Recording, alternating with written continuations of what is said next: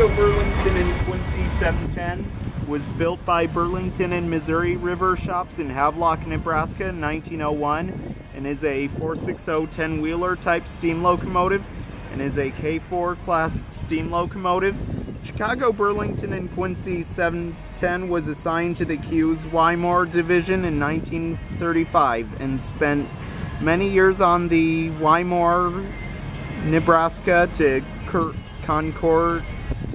Concordia, Kansas mixed. Also, Chicago, Burlington, and Quincy 710 renumbered to 910 to open the 700 slots for F7 diesels.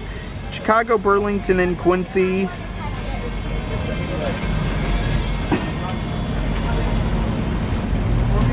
Seven ten was donated to Lincoln, Nebraska in 1954. It sat in many years in the park until moved to Mount Pleasant, Iowa for first class cosmetic restoration by the late Stan Matthews and was at Midwest Central Railroad at McMillan Park in Mount Pleasant, Iowa for cosmetic restoration. Then Chicago Burlington and Quincy 710 was put on static display at Lincoln's Burlington station where it is today and had a green fence surrounding it till the rail yard was taken out and then connected to the caboose and people could get also real close to see the locomotive.